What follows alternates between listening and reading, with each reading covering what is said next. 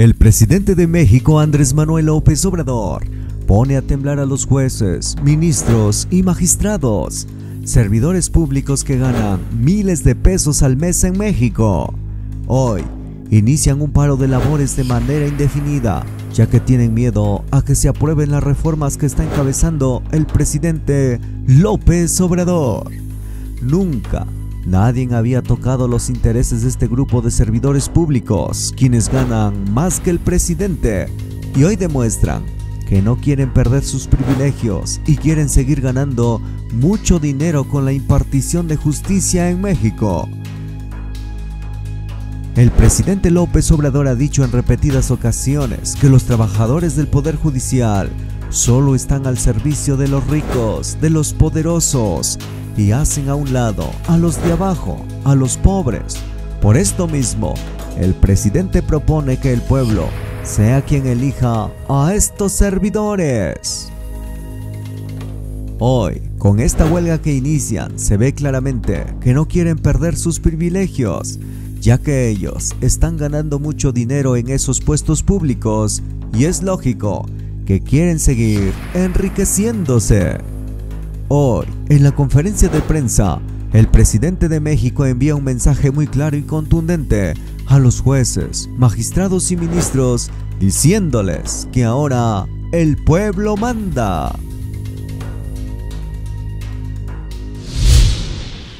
Presidente, eh, preguntarle finalmente su opinión sobre el paro que inició el primer minuto de este día de los trabajadores del Poder Judicial, si se analizó en el Gabinete de Seguridad qué problemas podría acarrear este paro de los trabajadores y también eh, pensando en que se va a votar, eh, los jueces federales van a votar creo que también el día de hoy, si ellos también se suman a este paro a partir del próximo miércoles. Eso sería todo, presidente. Gracias. Bueno, yo creo que están en su derecho de manifestarse. Solo este, comentar que con la reforma que se está proponiendo no se afecta a los trabajadores. Al contrario, se les beneficia. a ver si mañana o pasado eh, te vuelve a explicar en qué consiste la reforma. Todo esto para que no se manipule a los trabajadores,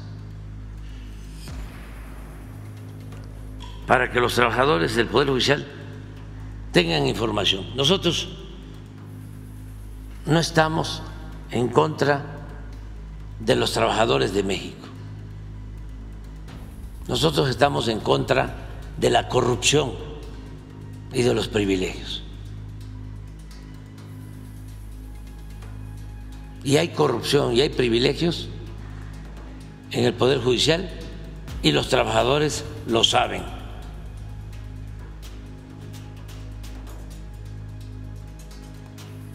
Y lo que queremos es corregir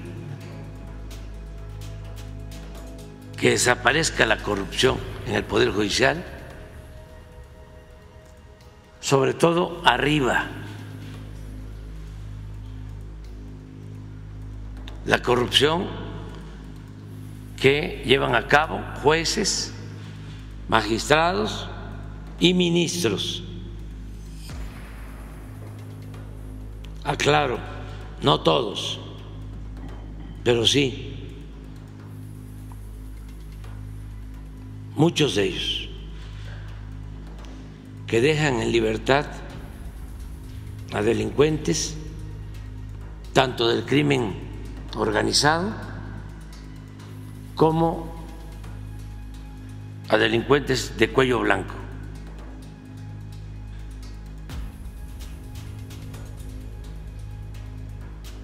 Si teniendo esa información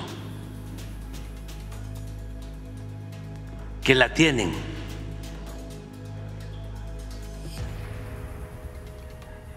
ellos deciden eh, ir a una huelga, también están en su derecho. Nada más que van a servir de paleros a quienes forman parte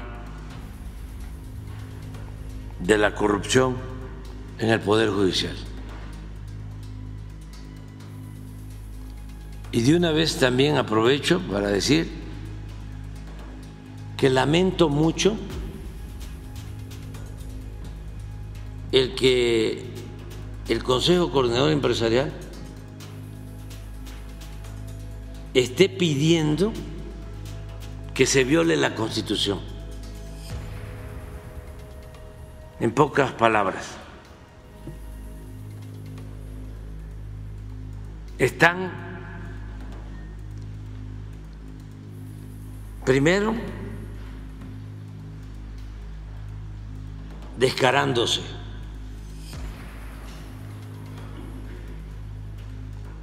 están definiéndose por la corrupción.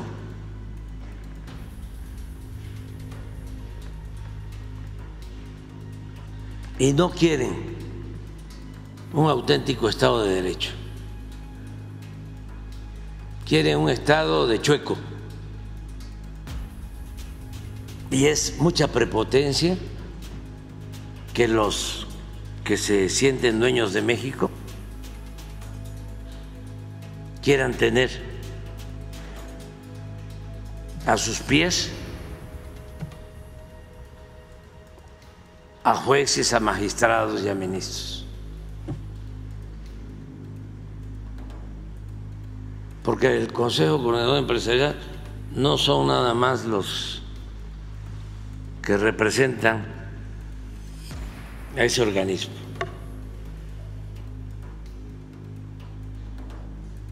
Son los más afortunados de México, que no dan la cara,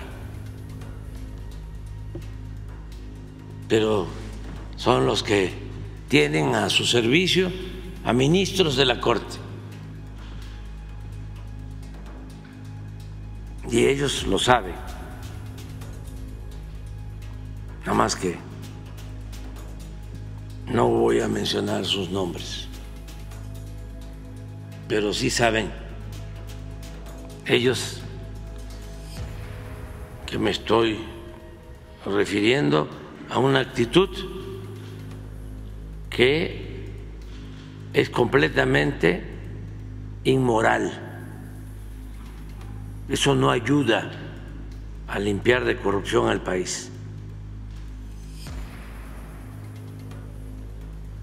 Eso no le ayuda a México. Eso es un mal ejemplo lo que están haciendo.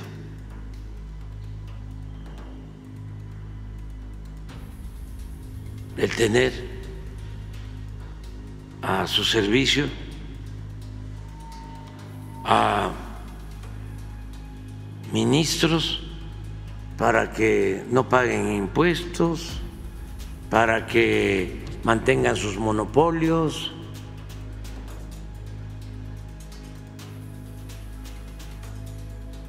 para eh, proteger intereses facciosos y todo en contra del interés general tener un poder judicial que esté al servicio de una minoría rapaz y no un poder judicial al servicio de todo el pueblo.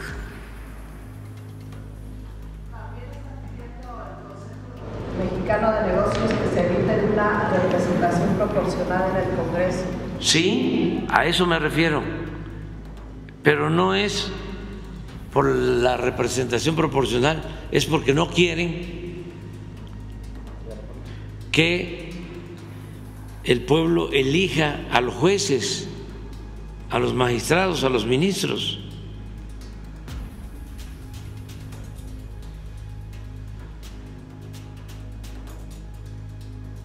Además, eh, cómo piden que se interprete la Constitución,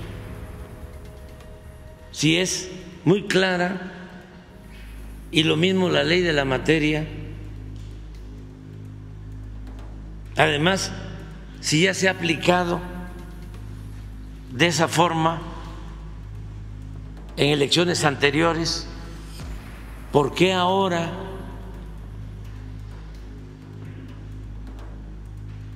que el movimiento de transformación, porque así lo decidió el pueblo, va a tener mayoría calificada en el Congreso, no quieren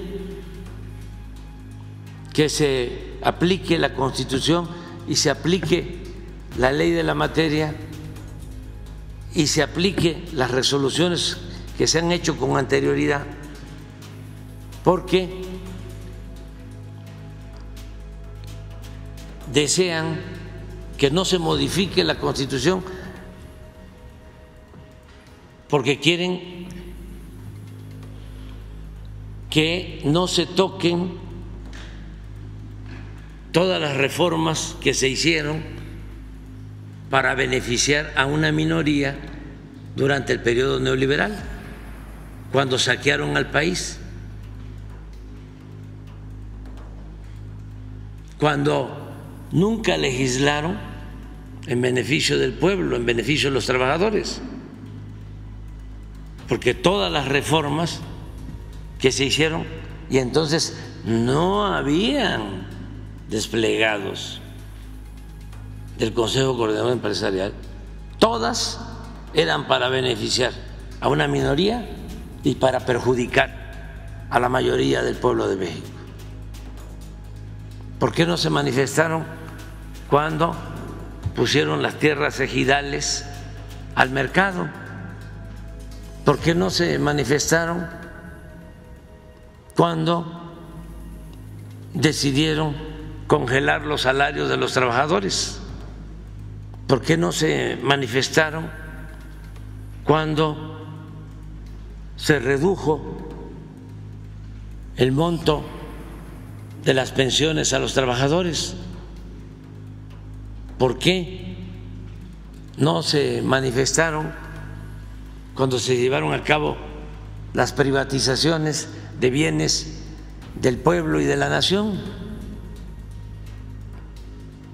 ¿Por qué no se manifestaron cuando se pretendía privatizar la educación pública.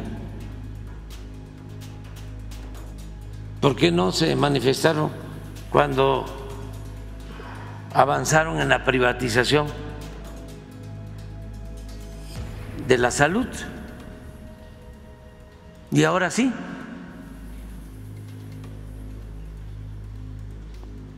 México es de todos los mexicanos. México no es país de unos cuantos. Y eso quedó de manifiesto en la elección y para eso es la democracia. ¿Cómo es posible que el pueblo votó mayoritariamente a favor de que continúe la transformación del país y ellos, un grupo de potentados con sus achichincles de los medios, de la academia o de la intelectualidad, quieran pisotear la Constitución. porque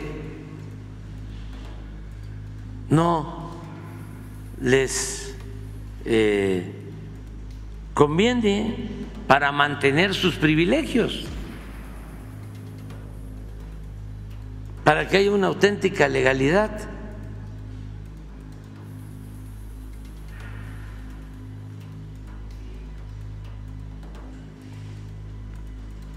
es, como decía Juárez,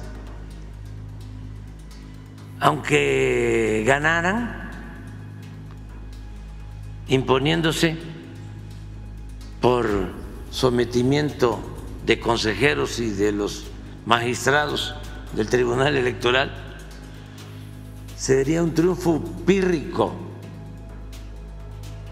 o como diría Juárez, el triunfo de la reacción es moralmente imposible.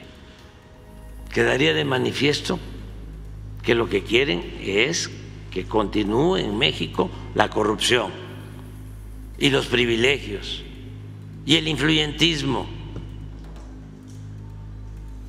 y la hipocresía de hablar de que la ley es la ley. Pero me llamó la atención un párrafo, a ver si pones de favor este lo de el manifiesto de el Consejo Coordinador Empresarial. Fíjense lo que piden. Y además, este, de manera ambigua,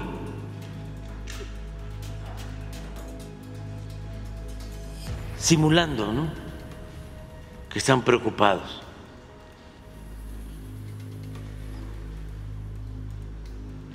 Pero quieren que se interprete la Constitución de nuevo.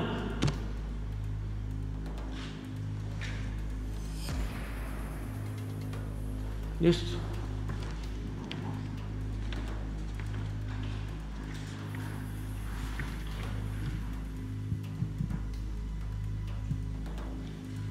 Por lo anterior, el Consejo Coordinador Empresarial y los organismos que lo integran hacemos un llamado al Instituto Nacional Electoral, INE, y al Tribunal Electoral del Poder Judicial de la Federación para realizar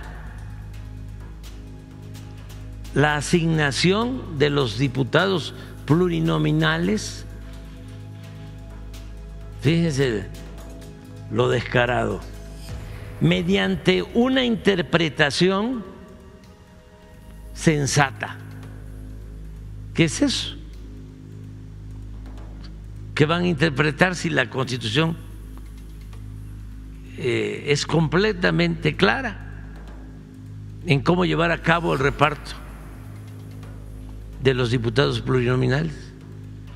Justa, equilibrada y apegada a la Constitución. ¿Cómo? Si así lo tienen que hacer, apegado a la Constitución. Pues no necesita interpretación sensata. Lo tienen que hacer apegados a la Constitución y a la voluntad del pueblo mexicano.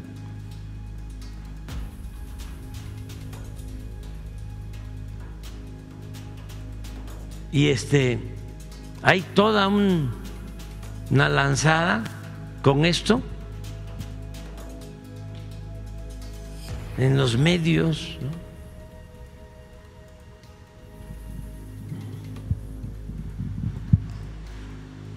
Están eh, desnudándose los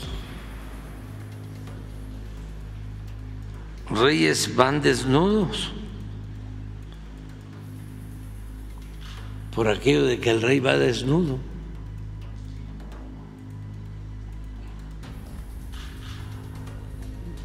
Esto ayuda también a entender este por qué están promoviendo la huelga a los de arriba y ayuda a los trabajadores a darse cuenta.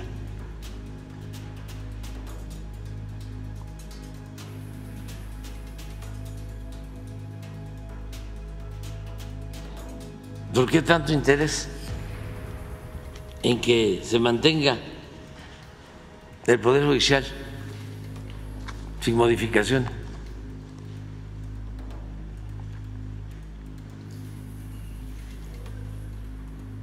que eh, les afecta.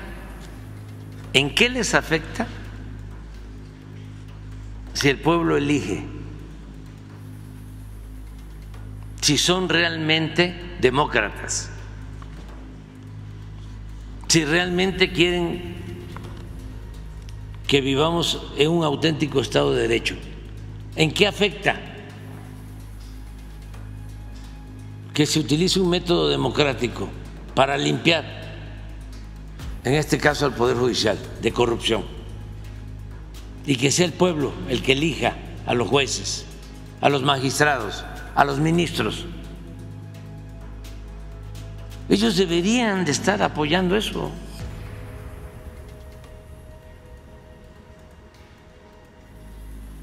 No, no, no, no. No cabe duda que tenía mucha razón. Miguel Hidalgo, el padre de nuestra patria, ese cura bueno y rebelde, que cuando lo estaban excomulgando, llegó a decir, a los oligarcas de entonces de que a ellos, a los oligarcas, lo único que les importaba era el dinero. Su único Dios les dijo, es el dinero. Pero es de vergüenza, de pena ajena.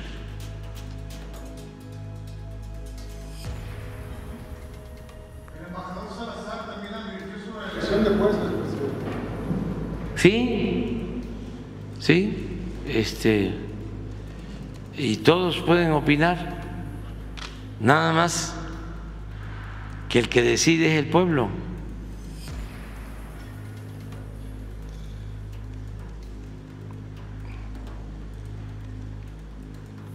Pero es tener el control de, del del Poder Judicial y de la Corte. Para que este, sigan las empresas extranjeras.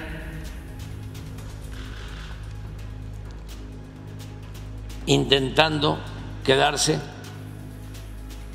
con la industria eléctrica para cobrarle la luz a los mexicanos al precio que les venga en gana. Eso es lo que defienden, para eso quieren al Poder Judicial. Y no estoy hablando al tanteo. Ya el Poder Judicial, la Suprema Corte rechazó una ley eléctrica que era para defender al pueblo de México y se pronunciaron a favor de las empresas extranjeras.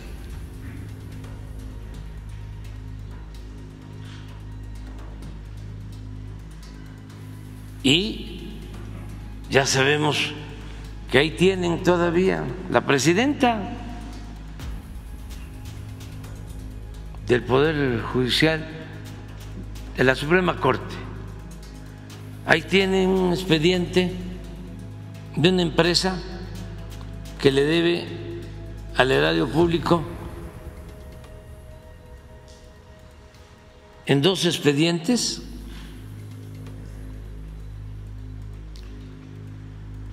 como 25 mil millones de pesos y que los tiene ahí aun cuando no le corresponde tratar el asunto a la Corte, porque incluso ya llegó a la Corte, ya le dieron la razón.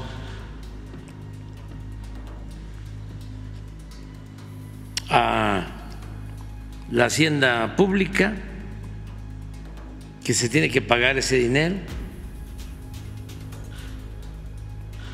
y la constitución es clara y hay jurisprudencia y hay tesis y ahí están los expedientes.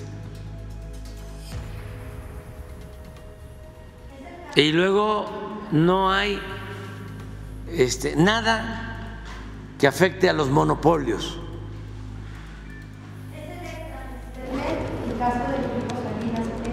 Busquen ustedes la información, o sea, o sea este, eh, ministros que están al servicio de potentados. En el caso de los monopolios, este, no puede, por ejemplo, el gobierno poner una línea de comunicación telefónica. No puede. No podemos este,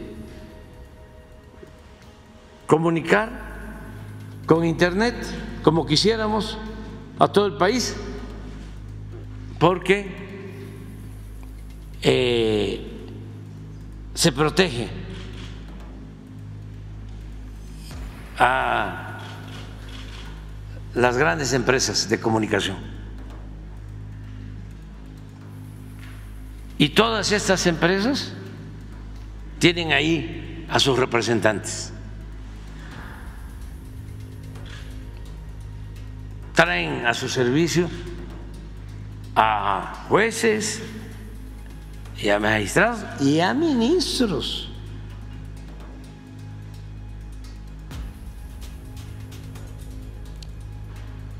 ¿Qué fue lo que sucedió? Que este soltaron dinero, muchos de ellos, para que el movimiento de transformación no lograra tener mayoría calificada en el Congreso. Porque solo teniendo mayoría calificada en el Congreso se puede reformar la Constitución.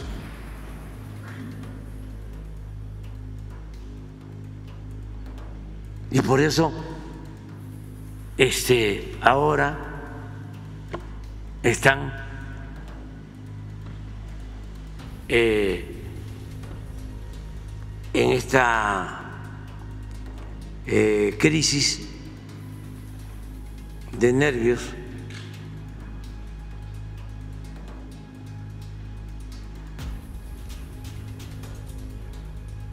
y este alentando para que se viole la Constitución.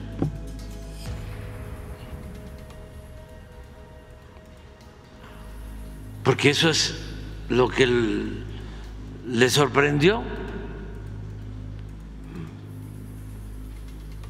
Todavía, como dijo Said, habían encuestas hasta que daban el empate a la señora Xochitl con este, la presidenta electa. Y de repente, ¿qué es esto?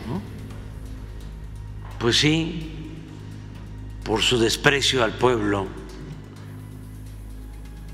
Fue un tengan para que aprendan. Ayer lo dije. No, interesa, eso es un asunto de cada quien, que le tengan amor al pueblo. Puede ser que no le tengan amor al pueblo, pero se tienen que acostumbrar a respetar al pueblo, porque ese es la verdadera democracia. Y vale más que vayan acostumbrándose.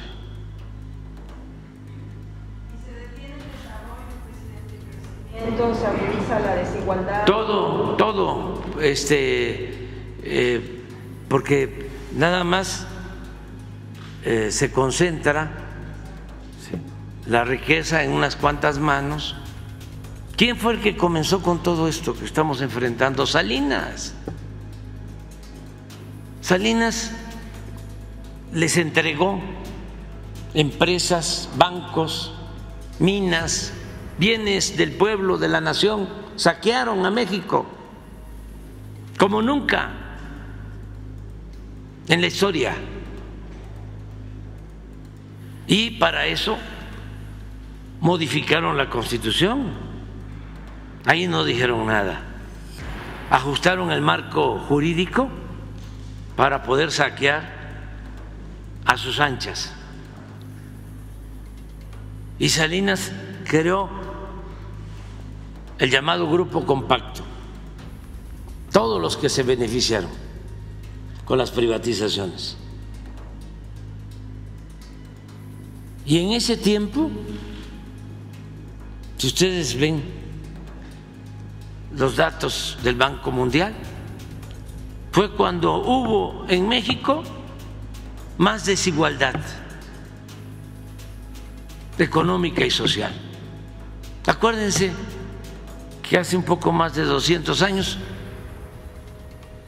una de las demandas principales de Morelos era que se moderara la indigencia y la opulencia,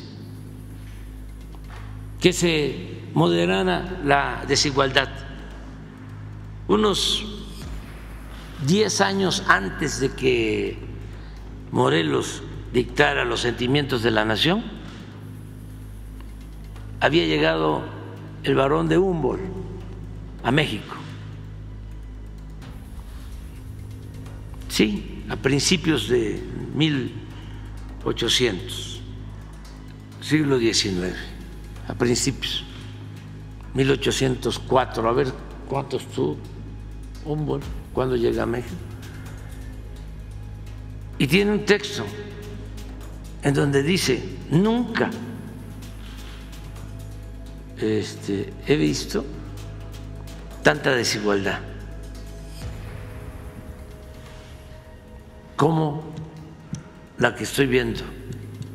1803. ¿Eh? 1803. 1803. Y los sentimientos de la nación, 1813. Sí, 10 años más. Y por eso, este, en los sentimientos de la nación,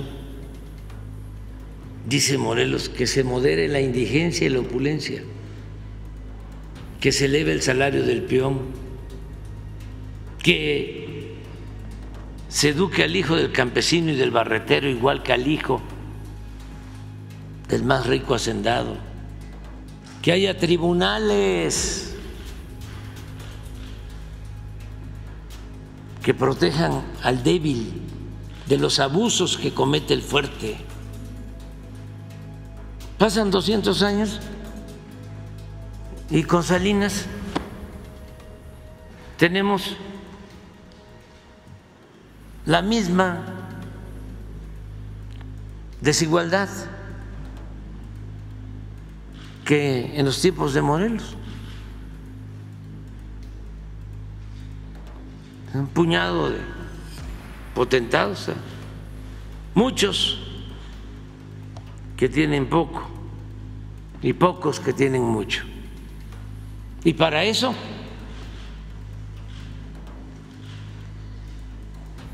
tomaron las instituciones y crearon una república simulada falsa.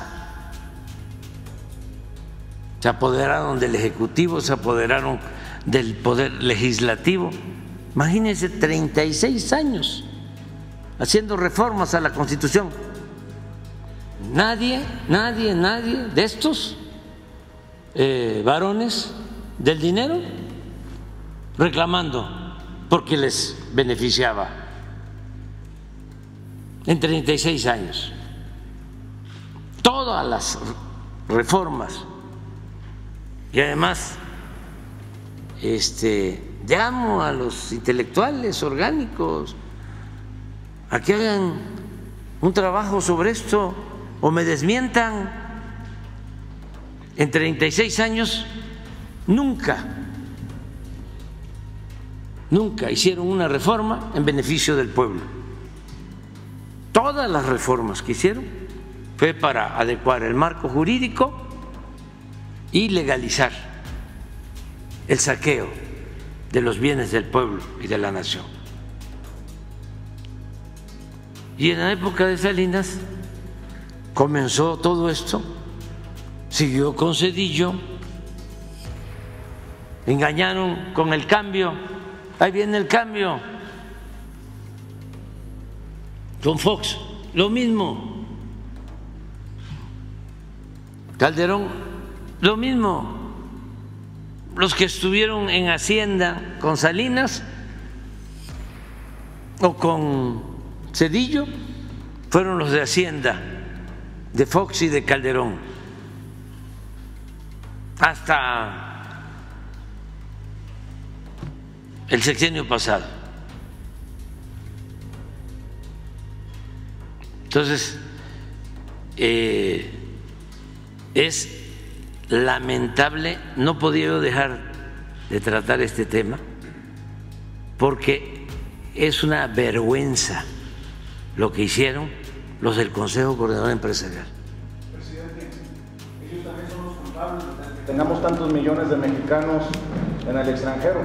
En estos 36 años de los que habla usted, muchos de esos paisanos que están en Estados Unidos tuvieron que abandonar sus lugares Sí. por culpa de estos. Sí, sí, porque este, eh, dejaron el campo en el abandono,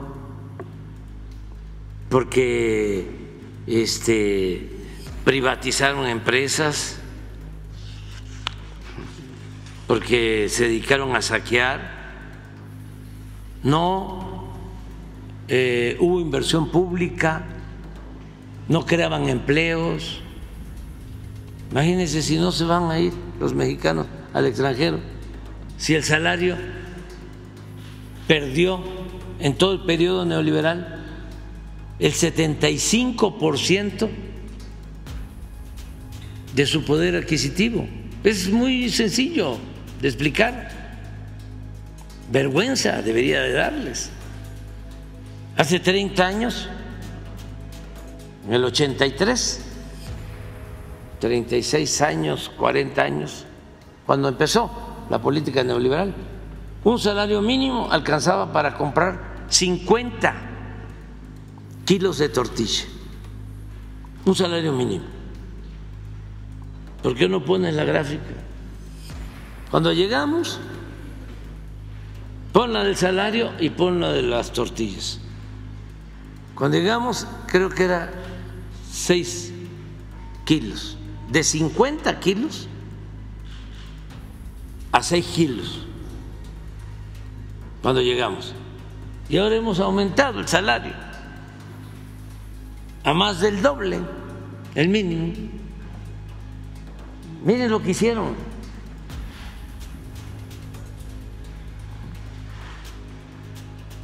Empobrecieron al pueblo. Y por eso, tienes razón, muchos tuvieron que irse a buscar la vida a Estados Unidos.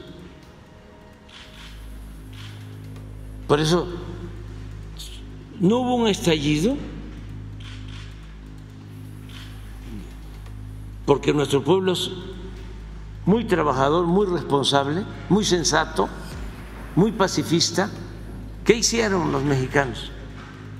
Dos cosas. Una, buscarse la vida como pudieron. Y todavía, este, con el estigma de que eran ambulantes, de que no pertenecían a la economía formal, de que no pagaban impuestos. ¿Sí? Y gracias a eso mucha gente sobrevivió. Y otros que decidieron emigrar. Y en vez de tomar el camino como sucedió de las conductas antisociales. En algún grupo, afortunadamente, los menos, pero por esa política. Y miren, cuando llegamos 6.5 de 50 kilos en el 83, o sea que un salario mínimo alcanzaba para 50 kilos a 6.5 y le hemos subido más del doble el salario y ahorita alcanza para 11.8. Entonces ya, ya, este, entiendan, eso ya cambió, el pueblo ya no quiere más de lo mismo. O sea, ¿con qué cara los ministros y con qué cara este, los el Consejo Coordinador Empresarial están defendiendo al Poder Judicial? Si un ministro viola la Constitución y gana cuatro veces más que lo que gana el presidente de la República. ¿A quiénes están defendiendo? A gente inmoral, deshonesta.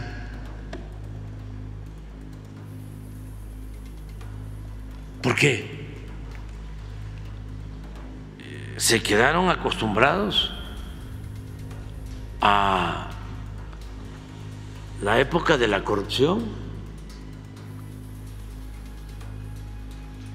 Y aplica lo que decía León Tolstoy, un Estado que no procura la justicia, que además deberían de quitarle hasta el nombre, mientras no haya reformas, no debe ser Suprema Corte de Justicia, que ahí no hay justicia. Pero Tolstoy decía, un Estado que no procura la justicia no es más que una banda de malhechores. Y ya también basta, basta. Antes, ¿cómo hablaban de los rateros, no? Ratero era el que se robaba una gallina allá en los pueblos, que se robaba un cilindro de gas, que se robaba una bolsa en el mercado. Ese era el ratero. Y los grandes saqueadores, grandes rateros, ni perdían su respetabilidad.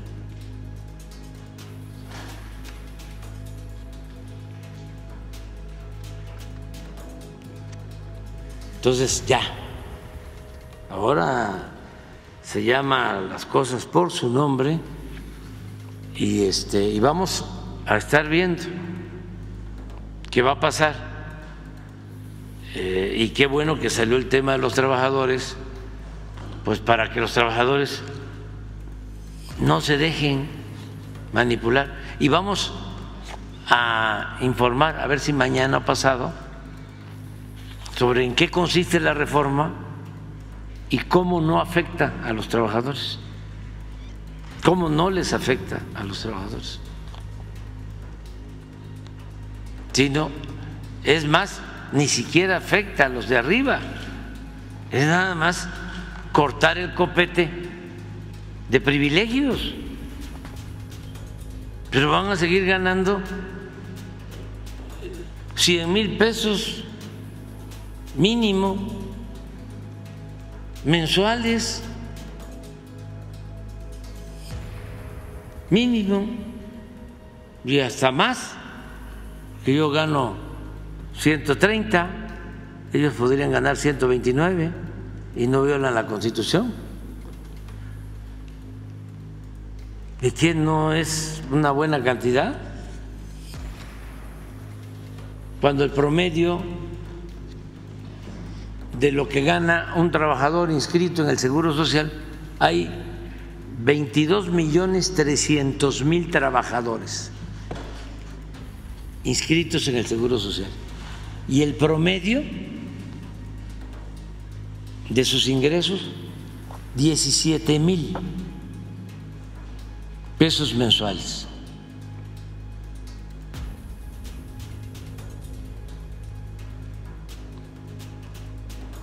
No ustedes. Promedio deben de traer pues 30, 35. Promedio, dije. Promedio. Vámonos, vámonos al festival.